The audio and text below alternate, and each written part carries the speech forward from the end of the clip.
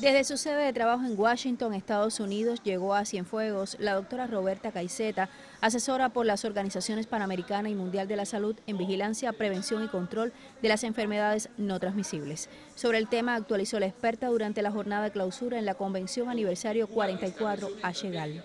Hay una carga increíble en todos los países, ¿no? En general está entre 70-80% de total de muertes, de defunciones en los países marcada especialmente por enfermedades crónicas, por diabetes, por respiratorias y también por cáncer. ¿no? Lleva y, y, causa en, las poblaciones no solo los aspectos de respuesta del servicio, pero el aspecto humano, ¿no?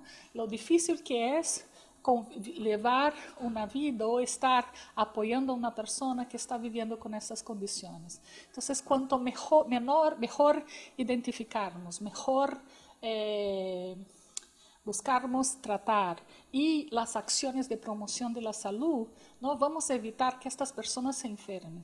Una alianza de trabajo le acerca a Cienfuegos durante la implementación de la encuesta a este Panamericano, que por 14 semanas estudiará la incidencia de las enfermedades no transmisibles y los factores de riesgo asociados en una muestra de la población. Especialmente estamos ahí detrás de aprender sobre información de hipertensión, de diabetes, que nos ayuda a tener un panorama más general de la salud de la población en, la fase adulta.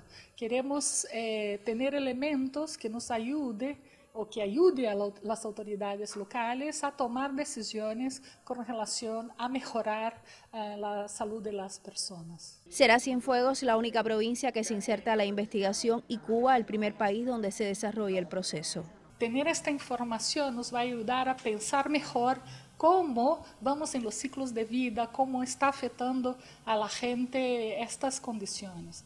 Pero más especialmente nos ayudará a entender la población que está viviendo no solo con diabetes, pero aquellos que tienen diabetes, aquellos que tienen hipertensión, o sea, que no están viviendo solo con una condición, los que están lidiando con sobrepeso y obesidad, ¿no?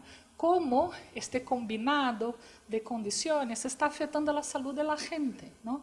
Y cómo podemos mejor actuar. Y no quiero dejar atrás el tema de la salud mental, que ha sido muy ocultado por mucho tiempo, porque es, pero es un tema latente, es un tema que lo aprendemos y vimos muy de cerca durante la pandemia. Retos que de manera conjunta asumirán expertos de las organizaciones Panamericana y Mundial de la Salud para profundizar en lo referente a las enfermedades no transmisibles desde Cienfuegos.